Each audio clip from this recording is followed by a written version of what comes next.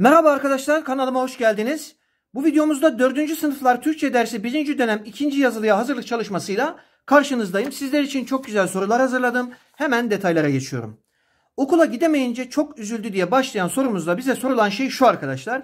Numaralanmış cümlelerdeki altı çizili sözcüklerden hangileri mecaz anlamıyla kullanılmıştır diyor. Mecaz anlam ne demekti? Bir sözcüğün gerçek anlamından tamamen uzaklaşarak kazandığı anlam demekti. Bakalım şimdi.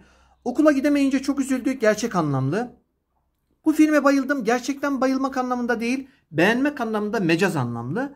Arkadaşlarım parkta oynuyordu. Gerçek anlamlı. Ahmet'e çok kırıldım. Gücenmek anlamında, küsmek anlamında mecaz anlamlı. Çorba çok acı olmuş da gerçek anlamlı. Yani cevabımız 2 ve 4 seçeneği olacak.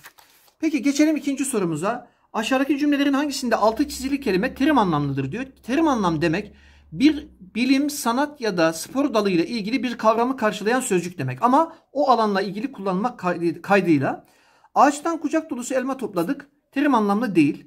Ders çıkışında dil kursuna gideceğim. Terim anlamlı değil.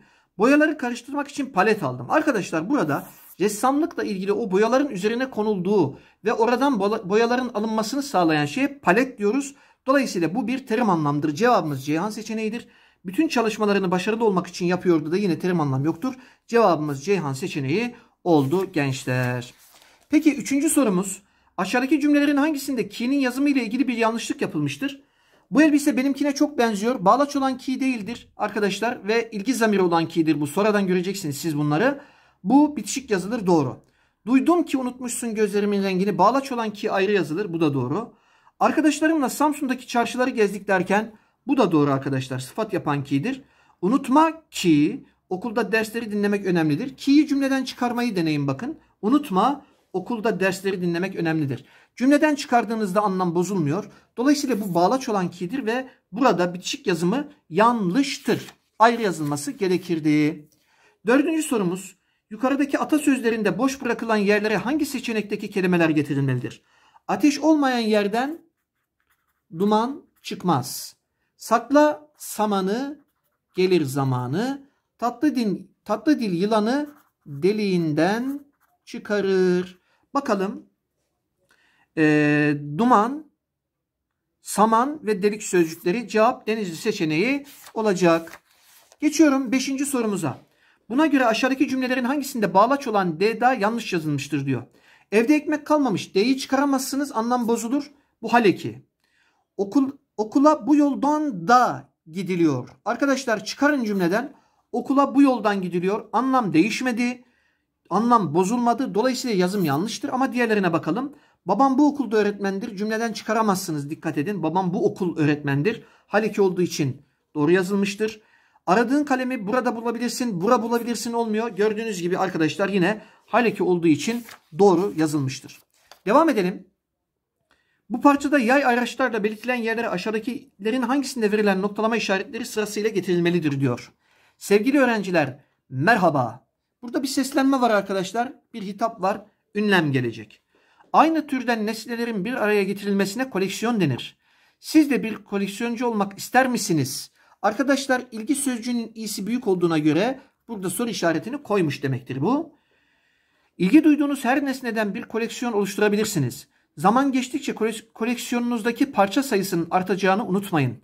Koleksiyonunuzu sergilemek ve korumak için saklama kutuları, raflar ve çerçeveler veya albümler hazırlayabilirsiniz. Nokta. Yani ünlem, soru işareti, virgül, virgül, nokta olacak. O zaman cevabımız Adana seçeneği olacak.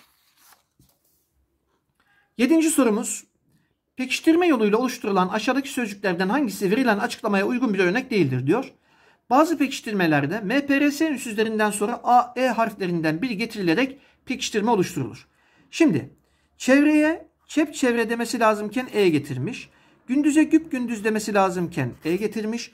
Sağlama sap sağlam demesi lazımken A getirmiştir. Ama temize zaten tertemiz demiştir. Araya bir EA getirmemiştir gençler. Burada A seçeneği diğerlerinden farklı bir yolla pekiştirilmiştir. Sekizinci sorumuz. Yukarıdaki metinde geçen can atmak deyiminin anlamı aşağıdakilerden hangisidir diyor. Hangisinde verilmiştir? Ayşe bir yıldır düzenli olarak ders çalışmaya başlamıştı.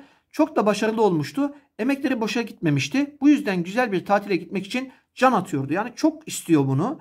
Bir olayın hemen gerçekleşmesini çok istemek anlamı var ama diğerlerini bir kontrol edelim. Sevinmek, sevindiği her halinden belli olmak.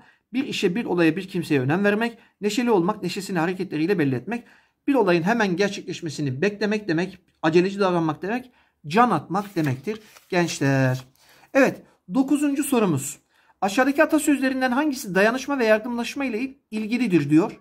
Bir elin nesi var, iki elin sesi var. Arkadaşlar cevap bu olmalı ama diğerlerini kontrol edelim. Denize düşen yılana sarılır, çaresizlik durumunu ifade ediyor. Mum dibine ışık vermez, insanın yakın çevresine başkalarına dokunduğu kadar faydası dokunmaz anlamında kullanılıyor. Kaz gelen yerden tavuk esirgenmez.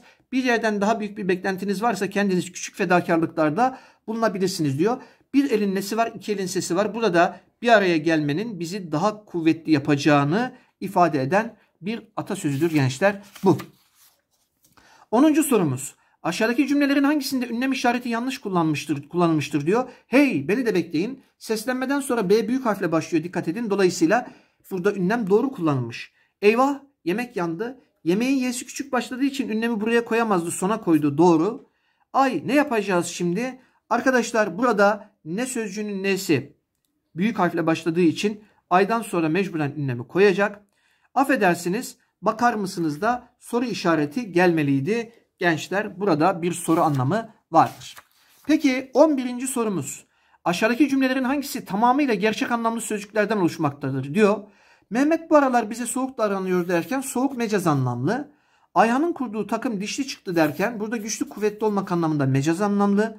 Havalar soğudu sobayı yakalım da hepsi gerçek anlamlı arkadaşlar. Hiçbir zaman onların oyununa gelmedik. Yani tuzağa düşmemek anlamında mecaz anlamlı olarak kullanılmıştır. Peki 12. sorumuz söylemekten kaçınılan bir sorunu sonunda açıklamak anlamında kullanılan deyim. Arkadaşlar burada baklayı ağzından çıkarmak şeklinde ifade etmeliyiz bunu. Diğerlerini söyleyelim. Yaka silkmek bir şeyden bıkmak artık. Burnundan solumak çok sinirlenmek anlamında. Dilinde tüy bitmek ise bir şeyi çok fazla tekrar etmek zorunda kalmak ve bundan rahatsızlık duymak anlamında. Peki 13. sorumuz. Bu parçada yay ayraçlarla belirtilen yerlere aşağıdakilerin hangisinde verilen noktalama işaretleri sırasıyla getirilmelidir diyor. Yaşlı amca doktora sordu. Arkadaşlar iki nokta gelebilir, virgül de gelebilir onu söyleyeyim ama seçeneklerimizde virgülle başlayan bir seçenek yok. Kontrolüm ne zaman? Bir soru işareti gelecek. Doktor şöyle dedi tekrar iki nokta. iki gün sonra saat 7'de. Arkadaşlar buraya da nokta gelecek. Yani iki nokta soru işareti iki nokta ve nokta şeklinde olacak. Dolayısıyla cevabımız Adana seçeneği olacak. Evet 14. sorumuz. Aşağıdaki altı çizili sözcüklerden hangisi eş seslidir? Eş sesli demek yazılışları aynı anlamları farklı olan sözcükler demektir arkadaşlar. Çalışanlar çok büyük bir havuzda kısa sürede temizlendi. Bunun başka bir anlamı yok. Bir çiçek alıp güneşin batışını seyrederdik. Başka bir anlamı yok. Sınavdan yüz alınca burada sayı anlamında. Bir de ne var arkadaşlar? Yüzmek, bir de surat anlamında yüz var. Yani yüzün çok farklı anlamları var. Cevabımız Cihan seçeneğidir.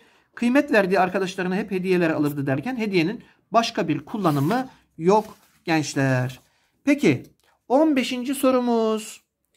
Aşağıdakilerin hangisinde yazım yanlış yapılmıştır?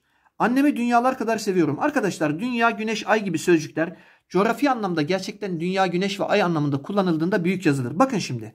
Ay dünyanın uydusudur. Doğru. Dünya güneşin etrafında döner. Her ikisi de doğru. Güneş dünyayı aydınlatır. Her ikisi de doğru. Ama burada dünyalar kadar seviyorum derken gerçekten gece, gezegen anlamında dünyayı kastetmemiştir. Burada sevgisinin derecesini belirtmek maksadıyla bir benzetmeye başvurmuştur. Cevabımız Adana seçeneği olacak. Evet çalışmamız bu kadardı gençler. Şimdiden sınavınızda çok yüksek not almanızı canı gönülden diliyorum. Kolay gelsin.